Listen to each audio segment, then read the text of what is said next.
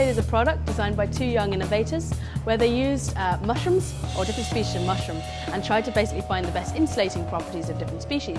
So they mixed the fungi with organic farm waste, debris such as uh, cotton, rice and buckwheat husks um, to create this uh, sample that you see up here.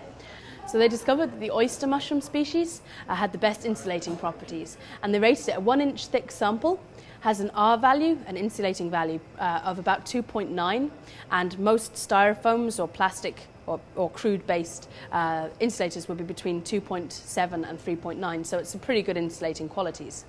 It's got great properties as regards fire resistance, um, better than styrofoam actually, without being treated by any protochemicals. And the only problem with it is if the, the building that it's in becomes flooded, any supersaturation to this will just destroy it.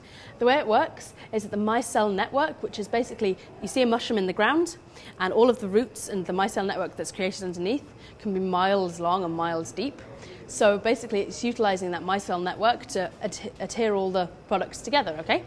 and it's kept in a dark room with hydrogen peroxide, so basically can destroy any further growth, so it's left as an inch thick sample. They've actually got um, a sample for two years left under their bathroom sink just to see how long it'll last for. So numerous companies have carved out their niche selling green materials to green suppliers.